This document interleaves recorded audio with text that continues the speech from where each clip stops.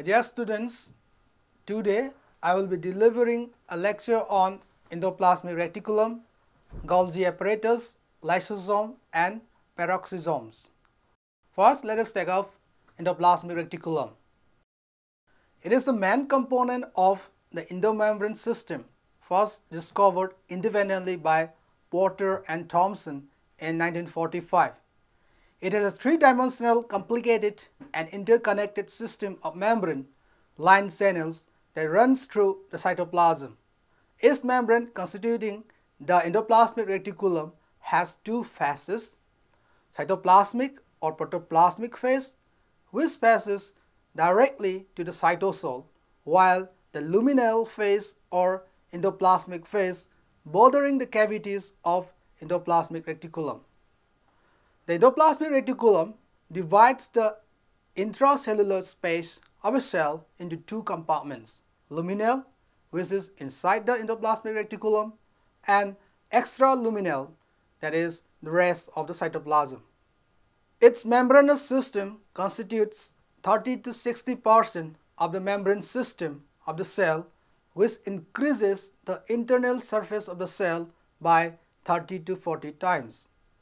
The size of endoplasmic reticulum varies considerably in different cell types and in relation to their functions.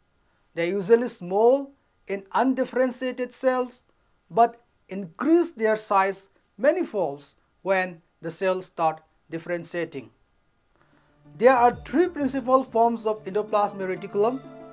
Cisternae, they are long flattened units of 35 to 50 micrometer in thickness which are arranged parallel in bundles or stacks. They usually occur in those cells which are actively involved in synthetic activity. Vesicles, they are round in shape with a diameter of 27 to 500 micrometer and appear as small vacuoles. They are found isolated in the cytoplasm and are also called microsomes. Tubules, they are much irregular branch structure having diameter of 50 to 100 micrometer and form a reticular structure with a cisternae and vesicles. Endoplasmic reticulum can be rough or smooth depending upon the presence of ribosome onto its surface. The rough endoplasmic reticulum has granular or rough appearance as ribosomes are bound to their outer or cytoplasmic surface, while smooth endoplasmic reticulum has no ribosome on its surface, making it look smooth. The ribosomes are attached to the outer surface of endoplasmic reticulum by large 60S subunit. The emerging polypeptide from the ribosomes also establish a functional link with the endoplasmic reticulum membranes. Rough endoplasmic reticulum is well developed especially in those cells which are actively involved in protein synthesis. In the cells of pancreas where protein synthesis is actively taking place, the rough endoplasmic reticulum is highly developed with parallel stacks of large flattened cisternae occupying the base and the lateral region of cell cytoplasm. Endoplasmic reticulum is poorly developed in those rapidly dividing cells such as those of plant and animal embryos and those of cancers. Endoplasmic reticulum performs many important functions in a cell. It contributes to the mechanical support of the cytoplasm, has osmotic properties and is involved in intracellular exchanges between the matrix and internal cavity. It also serves as a circulatory system for the transport of various substances. The synthesis of proteins for export is one of the main functions of rough endoplasmic reticulum. Synthesis of lipids and lipoprotein is associated with the rough endoplasmic reticulum. The smooth endoplasmic reticulum also helps in the detoxification of many endogenous and exogenous compounds. Next we have Golgi complex. This is a stack of flattened membrane bounded organelles associated with endoplasmic reticulum and is found near the nucleus. It can be considered as the differentiated portion of endomembrane system which is morphologically very similar in plants and animals. The Golgi complex has been a controversial issue in cell structure since its discovery by Camillo Golgi in 1898. According to some, the Golgi complex was an artifact resulting from the prolonged fixation of the cells. But it has been now established that Golgi complexes are definite cell organelles having important functions. Under the observation of electron microscope, the Golgi complex is shown to contain three membranous components having different forms. They are cisternae, flattened sacs arranged in parallel and are separated by space of 20 to 30 micrometer. Each cisterna has an intracisternae space of 150 angstrom which remains bounded by the unit membrane. Vesicles about 60 micrometer in diameter and are found around the end of the cisternae as they are budded off by the cisternae at their ends. And vacuoles, which are large, spacious, and rounded sac-like structures occurring in association with the cisternae and are filled with an amorphous or granular content. Each stack of cisternae in Golgi complex has a proximal or forming phase, generally convex and closer to the nuclear envelope or the endoplasmic reticulum, and a distal or maturing phase of concave set enclosing a region containing large secretory vesicles. The forming phase is characterized by the presence of small transition vesicles or tubules that converts upon the Golgi cisternae forming a kind of fenestrated plate. These transition vesicles are thought to form as bulbs from the endoplasmic reticulum and to migrate to the Golgi where they coalesce to form a new cisternae. The maturing phase is opposite to endoplasmic reticulum and is often associated with secretory vesicles that are rich in acid phosphatase. Golgi apparatus plays a major role in the glycosylation of lipids and proteins to produce glycolipids and glycoproteins. Glycosyl transferase is involved in the transfer of sugar residues in a sequential order to form glycoproteins. After the protein backbone is synthesized in the endoplasmic reticulum, the oligosaccharides of the core are added followed by terminal groups. The glycoproteins formed in this manner may be secreted or incorporated into the cell coat or to the lysosomes.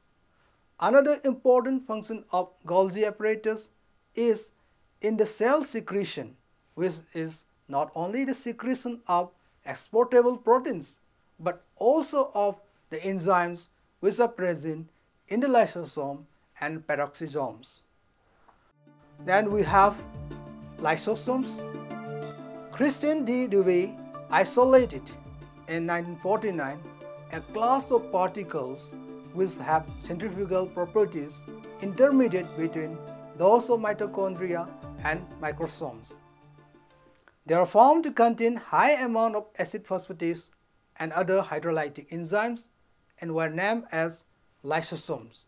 Lysis meaning dissolution and soma means body because of their enzymatic properties. Lysosomes are small vesicles which are bounded by a single membrane and contain hydrolytic enzymes in the form of minute, crystalline or semi-crystalline granules of 1 to 2 micrometer. The lysosomes are known to contain about 50 lysosomal hydrolases which are able to digest most of the biological substances.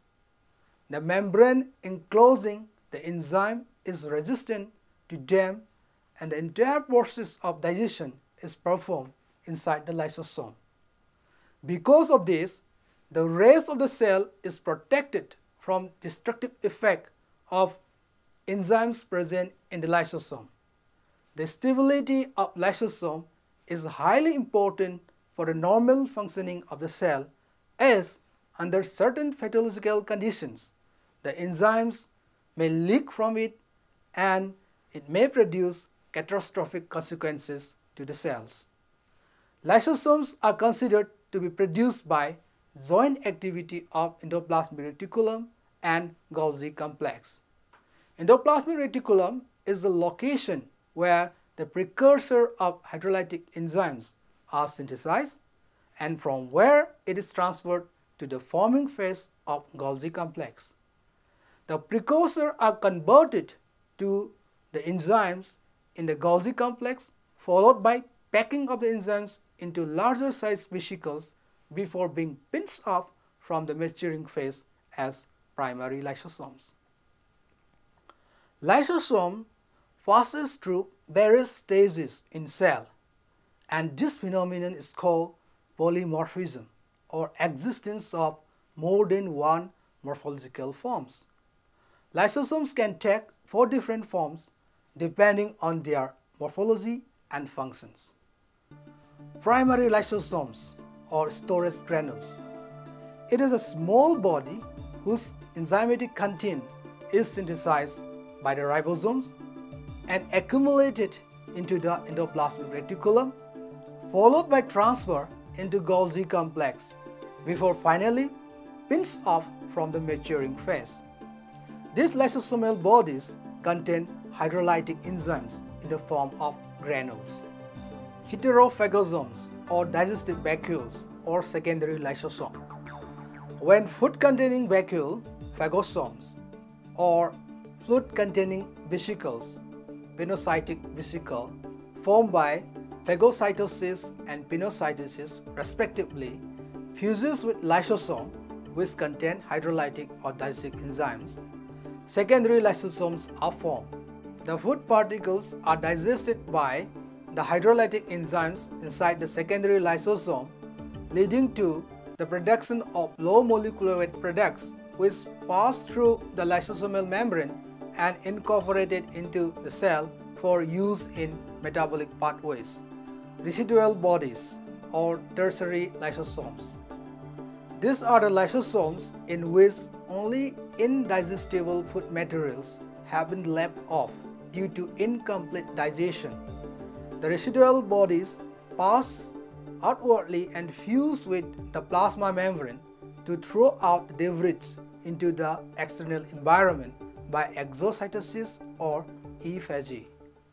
The autophagic vacuoles or cytolysosome or autophagosome is a special case found in normal cell in which the lysosome contains a part of the cell in the process of digestion.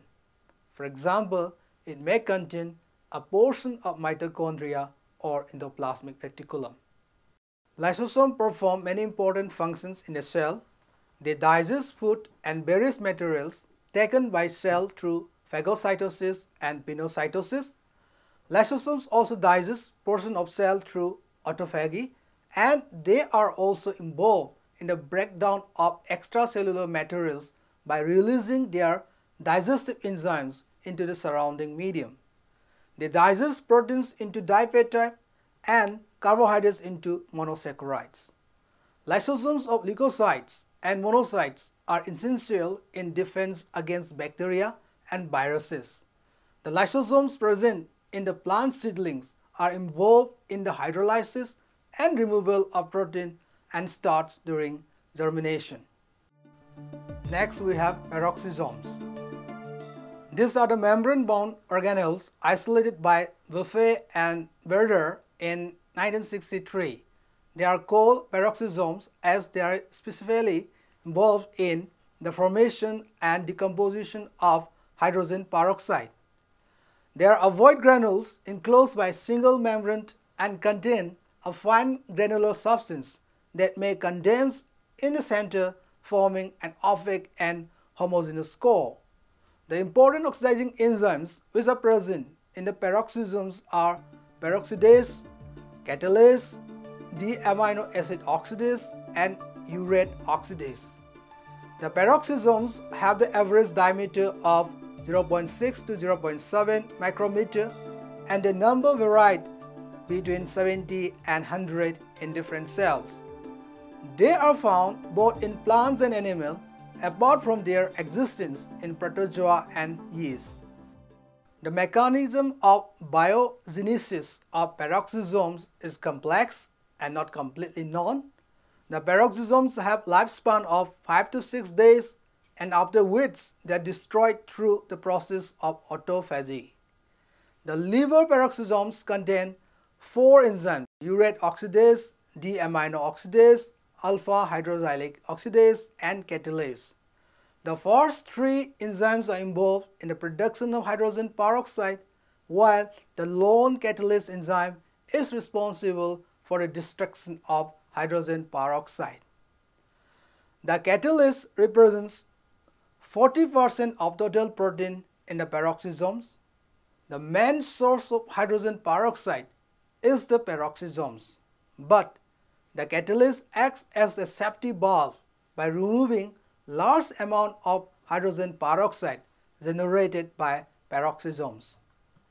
The cytosolic hydrogen peroxide and superoxide anion produced by mitochondria and membranes of endoplasmic reticulum are taken care of by glutathione peroxidase and superoxide dismutase. Peroxisomes are also involved in the beta oxidation of fatty acids which is carried out in mitochondria. Apart from their role in beta oxidation of fatty acids, peroxisomes are also involved in initial steps of alkoxy phospholipid biosynthesis which leads to the production of plasma lozenge which are important components of biological membranes. Peroxisomes play an important role in photorespiration of plants in this process, the glycolic acid, a two-carbon product of photosynthesis, released from the chloroplast is oxidized by enzyme glycolic acid oxidase present in the peroxisomes. The oxidation process leads to the production of hydrogen peroxide which is degraded by catalase inside the peroxisomes. Finally, we have the conclusion. The four organelles discussed above have important roles to play for the normal functioning of a cell. The endoplasmic reticulum is much branch system of canal-like unit membrane structure which increases the surface area of cytoplasm for various metabolic activities. It also facilitates the easy transport of metabolites and accumulates in the vacuoles for storage.